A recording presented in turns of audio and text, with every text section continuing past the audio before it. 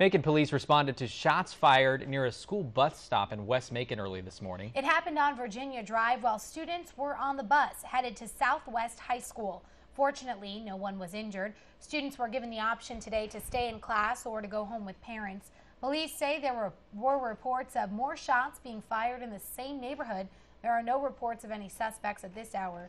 The Bibb County School District is leading this investigation.